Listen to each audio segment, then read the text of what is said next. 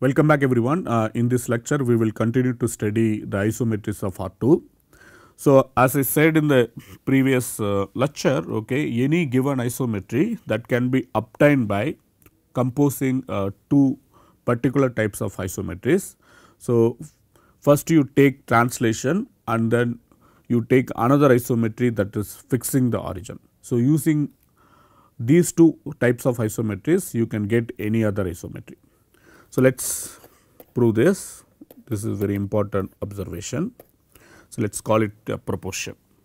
So, you start with uh, an isometry call it H which is a map from R2 to R2 that preserves the distance. Okay. So, this is B an isometry.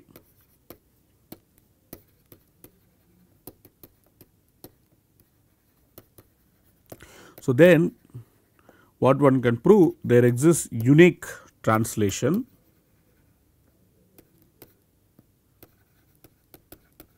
Call it T and another isometry H naught. That fixes origin. So, this H naught fixes the origin such that this H can be written as T composition H naught. Okay. So, this is the result and this is clear geometrically okay because so what do you do first you look at uh, where this origin is mapped under the map H okay. So, it can be mapped to somewhere.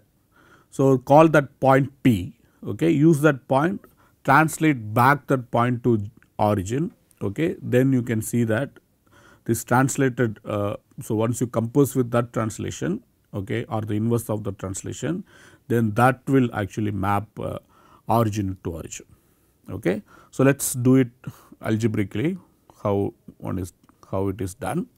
So first of all uh, so the proof is actually kind of working backward okay? So if you take uh, such maps okay let's say uh, h already written as some uh, translation composition h naught where h naught fixes the origin then let us see what conditions that we get so, if you write H equal to T composition H naught where H naught fixes the origin. So, both T and H naught both are isometries okay that is also given let us say. So, then you can see that H of 0 must be equal to T of H naught of 0. So, but H naught of 0 is 0. So, that means this is exactly T of 0. Okay.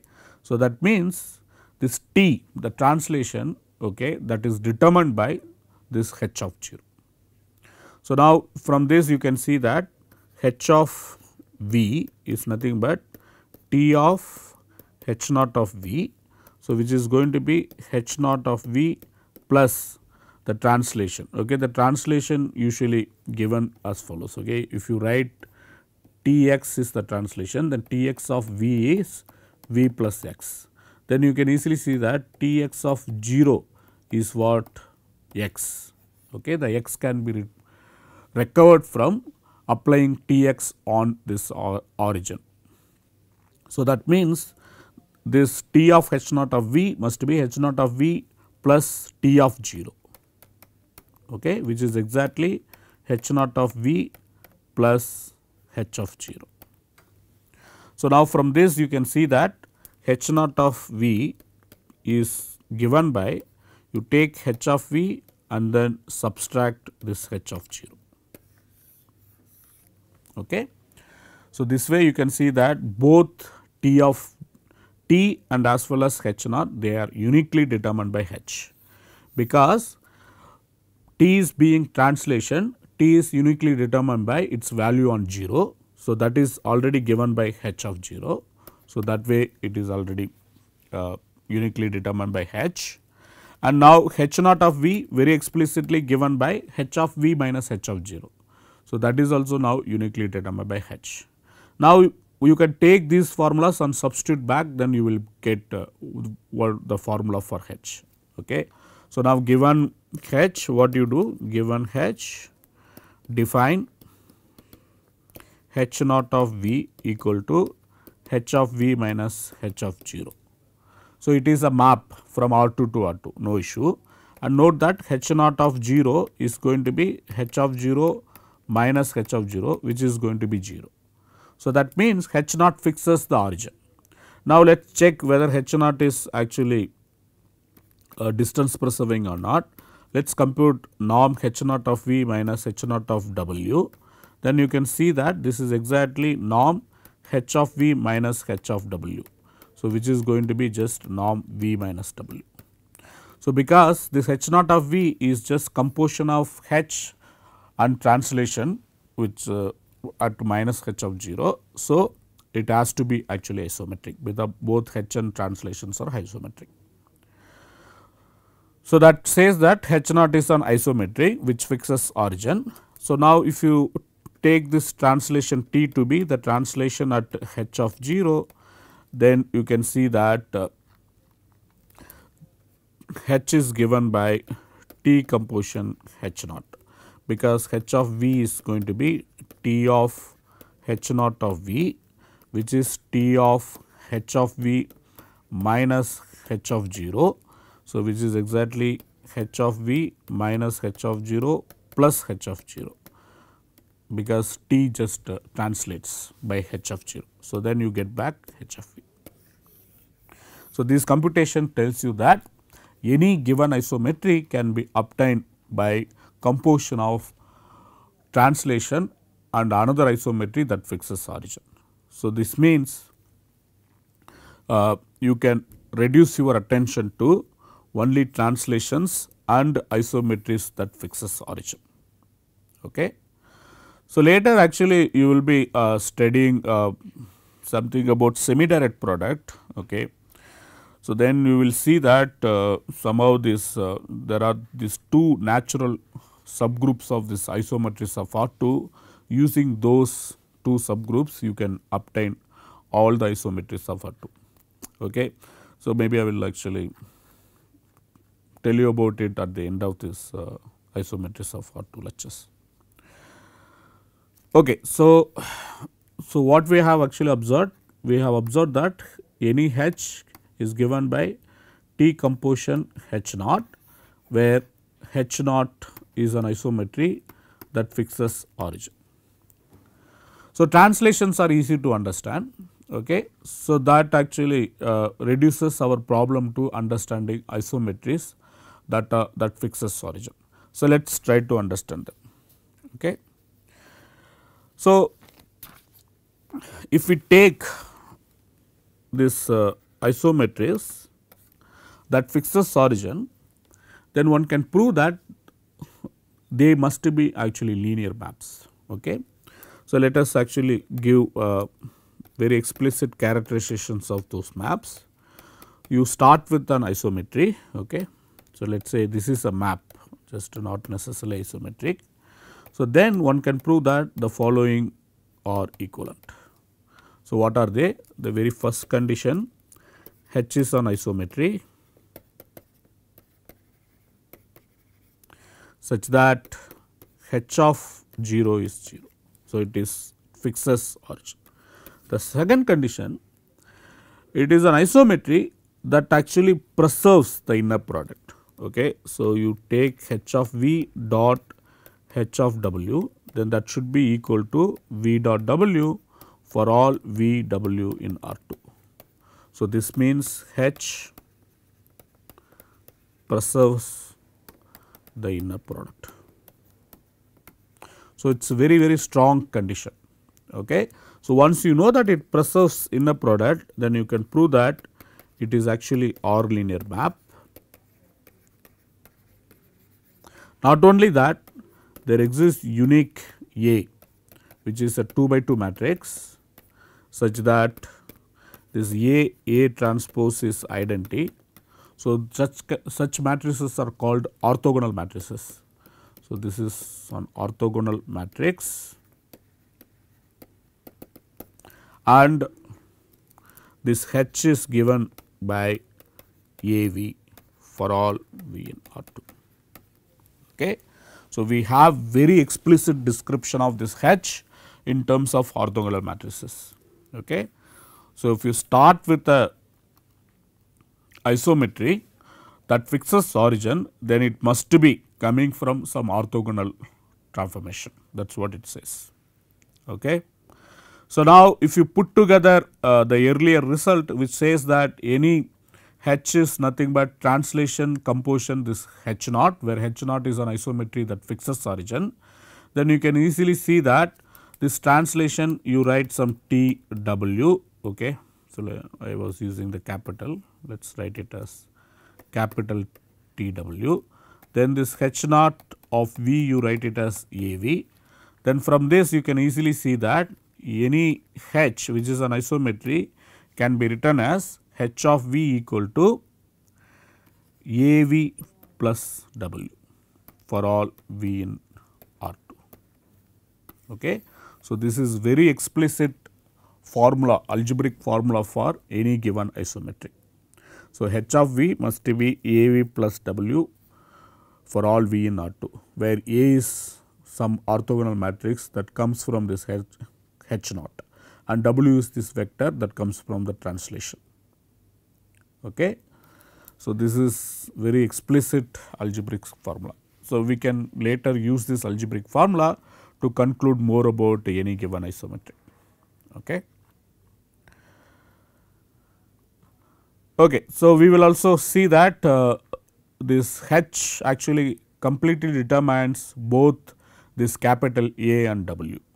For example, uh, you can easily see that H of 0 is going to be W. So, this way W is uniquely determined by H. And now, what is about this capital A? This capital A is uniquely determined by this H naught. Okay. So, because that is what the theorem uh, theorem 1 says. So, this existence of A is unique with respect to this uh, linear this uh, isometry that fixes origin.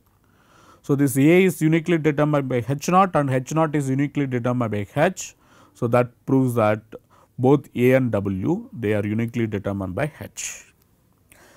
Okay, now let us get back to this theorem. This is the core part of the proof, okay, understanding all the isometries. So, if you start with an isometry that fixes origin, so let us see why it actually preserves inner product. So, let us just spell it out what is the meaning of it fixes origin. So, 1 implies 2. So, h of 0 is 0 and h preserves distance. So, h of v minus h of w is same as norm v minus w for all v w in R 2. Now, since 0 is fixed by h, so by setting w equal to 0 you get that norm h of v is equal to norm v for all v in R2. Okay. So, just work it out using these two formulas. So, what we get? We get so norm v minus w square which is equal to the inner product v minus w dot v minus w. So, if you work it out you can see that this is exactly v dot v minus 2 v dot w plus w dot w. Okay. v dot w same as w dot v. So, that is what you are getting. Similarly, if you work it out what is norm h of v h of w square. So, that is again going to be h of v dot h of v minus twice h of v h of v dot h of w plus h of w dot h of w. Okay. Now, what is this formula? Second formula says that says if you square it on both side, then you can see that h of v dot h of v is nothing but v dot v and this is true for all v in R 2. Okay. Maybe I will put v dash. So, that means if you just uh, substitute back this formula here then what you are going to get? You are going to get, so this term, okay, let me use different color. So, this term is going to match with this term and then this term is going to match with this term. So, they get cancelled. So, because these two are equal then from this you see that minus 2 dot v uh, sorry 2 times v dot w is same as minus 2 times h of v dot h of w. So, now by cancelling you get that h of v dot h of w equal to v dot w for all v w in R 2. Okay. So, that is what the condition second says. So, the condition second says H preserves the inner product. Now, let us look at this condition 2 and then conclude H is indeed R linear and then you have a orthogonal matrix such that HV is given by AV. Okay, so how one can get this? Since we have this condition 2, we want to prove that 2 implies 3. So, now note that this is E1 and E2.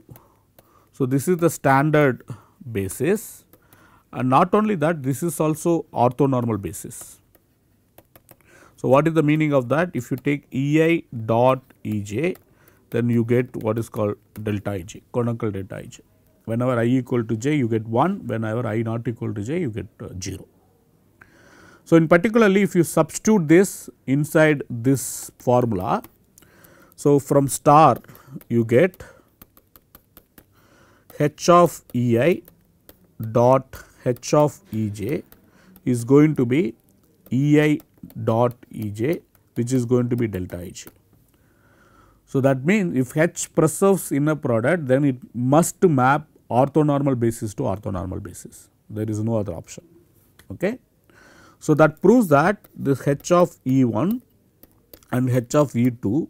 So, this again form a orthonormal basis for R2.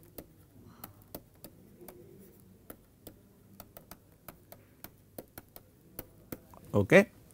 So, now because it forms an orthonormal basis, so given any vector that can be uniquely determined by its coordinates, the coordinates are given by inner product between h of E1 and h of E2. So, now let us use this cleverly uh, to conclude our result. Okay. So, for that what we will do, we will just compute the thing that we are interested in. Uh, so, what we need to prove? We need to prove that h is linear. So, for that purpose let us start with uh, uh, u v inside R 2 and then compute what happens h of u plus v.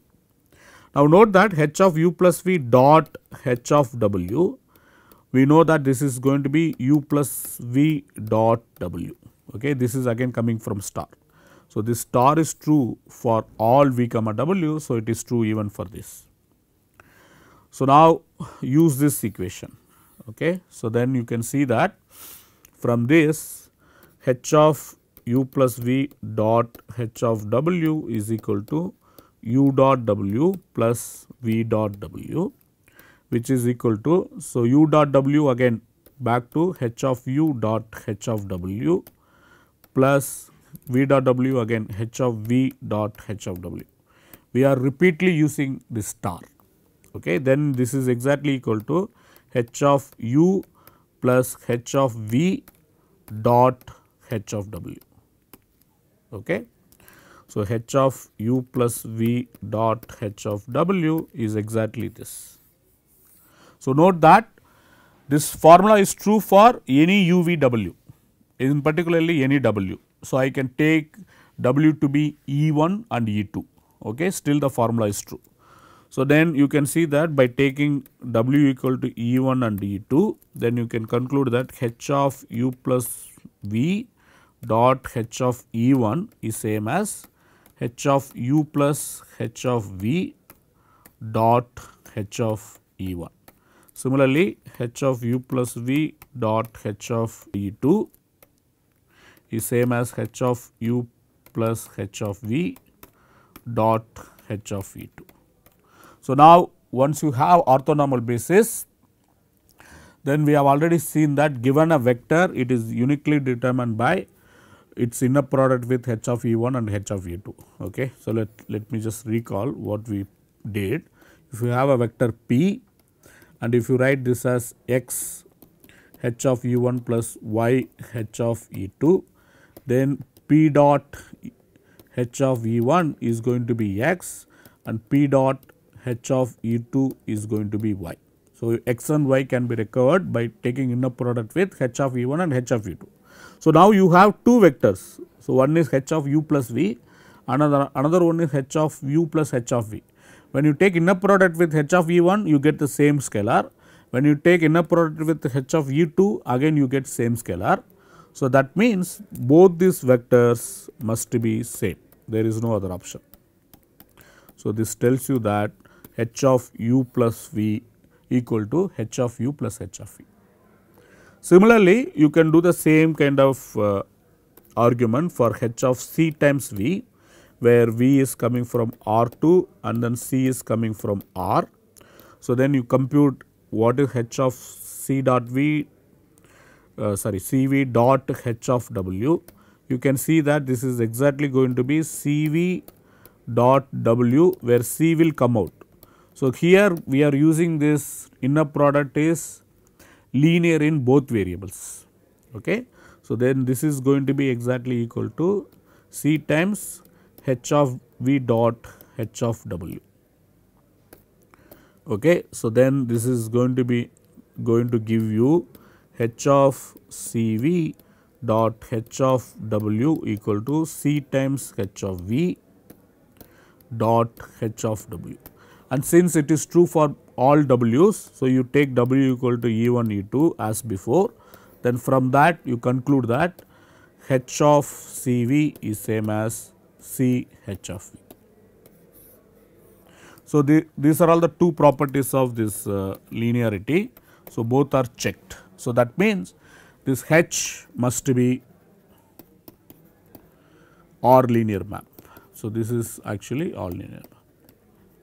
Now, it is not only just R linear map, this R linear map comes from this H, H of E1 and H of E2. Okay. So, from that you can easily see that uh, we have this very explicit formula. You write V as let us say some x comma y then this is going to be x e1 plus y e2.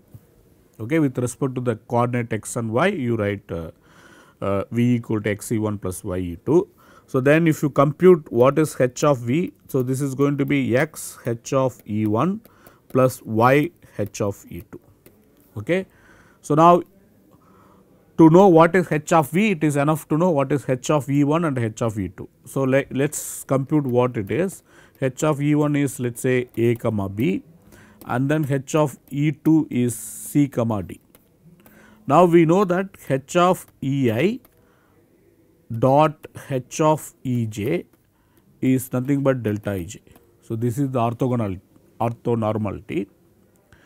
So, that means when you take for example, h of E1 dot h of E1 you are going to get a square plus b square. So, that is going to be 1. Then if you take h of E1 dot h of E2 which is same as h of E2 dot h of En, we get AC plus BD which is going to be 0. Now, if you take h of E2 dot h of E2 then you get C square plus D square equal to 1. So, all this can be recorded in the matrix form. Then if you take this matrix A whose first column is this AB and the second column is this CD, then you can see that A transpose is going to be A B C D. So, then A A transpose is going to be A square plus C square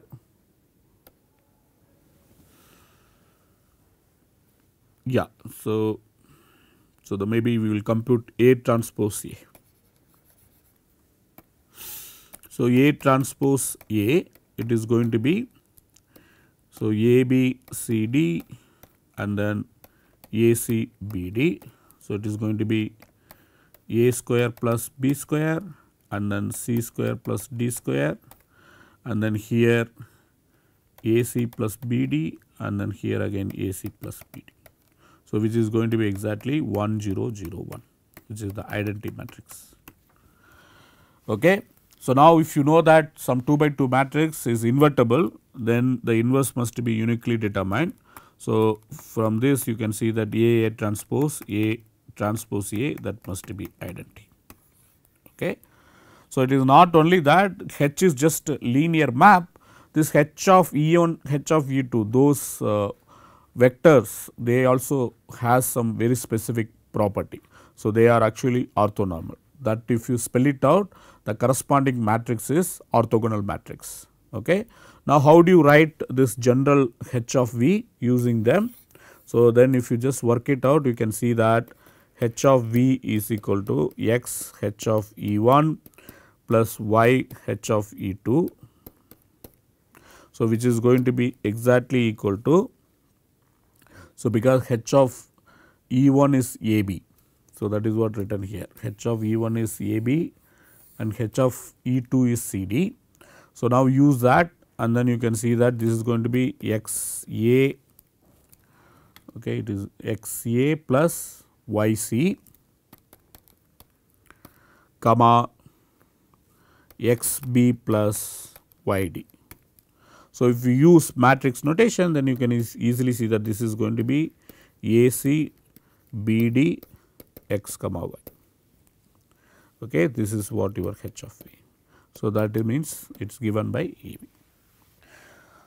So, A x plus C y and then B x plus d y that is what you are A. Okay. So, we have uh, written this H very explicitly using this matrix A okay, and this is true for all V not only for just some V it is true for all. So, this proves that uh, if, if H satisfies this condition star which, which says that H preserves this inner product, then H must be linear not only that it is given by this orthogonal matrix capital A which is obtained from H of E1 and H of E2. Place H of E1 in the first row, H of E2 in the second, second sorry first column and second column then you will get this matrix capital A. So, now uh, once you have this condition then it is not hard to see that the defined map H from R2 to R2 which is a linear map okay linear map given by AV sorry given by HV equal to AV. So, that must be isometric. So, how you verify this? So, you have to just compute what is norm of HV HW. So, then that is going to be exactly norm AV minus AW. So, then you can just work it out and then see this is going to be exactly norm V minus W. Okay. Why that is the case? Because A A transpose is actually identity. Okay. So, if you want let us let us just work it out very explicitly A is given by A B C D okay. So, that is what A. Now, what is given that A A transpose is identity. So, that means A A transpose is nothing but A square plus B square C square plus D square and then A C plus B D A C plus B D. So, this is going to be identity 1001. So, now let us just use that and then see that uh, so it is enough to so because all these numbers are non-negative numbers it's enough to prove the square is same okay? But if you take the square then what you get? Av minus aw square it's going to be the inner product okay? The inner product av minus aw dot av minus aw now, using this linearity if you just work it out this is going to be AV dot AV minus twice AV dot AW plus AW dot AW. So, this is what your, your formula says. So, now if you want to prove that uh, this is same as norm v minus w square then you need to show that a v dot a w is same as v dot w okay v dot w. So, this should be true for all v w in R 2. So, then from this you get this equality. From this immediately you get this equality. Okay. So, how one does this? Uh, let us again very explicitly write down there is no issue. Okay. So, V you write it as some x 1 y 1, W write it as some x 2 y 2. So, then you can see that A V is going to be, so this is A B C D x 1 y 1. So, this is going to be A x 1 plus C y 1, B x 1 plus D y 1 Similarly, AW is going to be again AC BD x2 y2. So, this is going to be AX2 plus CY2 and then BX2 plus DY2. So, now if you take AV dot AW, so then what do you get? You get AX1 plus CY1 times AX2 plus CY2 plus bx1 plus dy1 times bx2 plus dy2. So, this is going to be your inner product. So, you want to say that this is same as v dot w which is x1 x2 plus y1 y2. So, you have to collect the terms and then see what you are getting. So, for example, let us collect x1 x2 term in this. So, in this sum you just collect x 1 x 2 term. So, what you are going to get you go you are going to get a square plus b square. So, that is going to be your x 1. So, that is it is going to come from a x 1 a x 2 and then b x 1 b x 2. So, that is going to give you this.